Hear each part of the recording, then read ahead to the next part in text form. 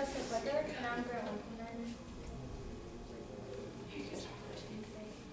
Uh, I'm gonna play March, and after, at the last measure, we're going to repeat to measure one and play till measure eight again. Okay.